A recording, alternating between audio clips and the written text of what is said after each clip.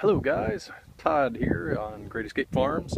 We, I came out here and I was looking around just doing a check, wasn't planning on doing anything this weekend and realized that uh, my cuttings weren't pushed down far enough. So when I was here last, uh, when I was putting the cuttings in, ground was frozen. I thought they were in far enough, but as you can see here in the background, you can tell I'm up on a hill, so I get a good bit of wind up here. And I just finished putting these back in, but what I came into is a whole bunch of this. So uh, my sticks were just, or my cuttings were just kind of blown right over. So except for these, I knew I knew I had these in deep enough, and not too bad over here on this side. So uh, I wanted to get you a quick video and show you what this looks like. Let me get out of my shadow here. So.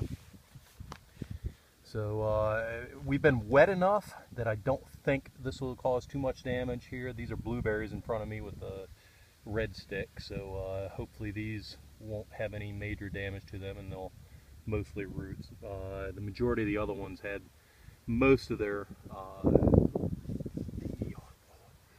uh, end that should be in the rooting medium in the rooting medium. The worst worst ones here were the blueberries that are out. So just want to give you a little update here on the farm. So I'll spend the next hour or so putting these back in and uh, got a warm day tomorrow and then after that we got some more rain coming in so that'll water these things down and have them set to go and hopefully these will be ready for uh, rooted and ready for fall or spring of 2017 sales.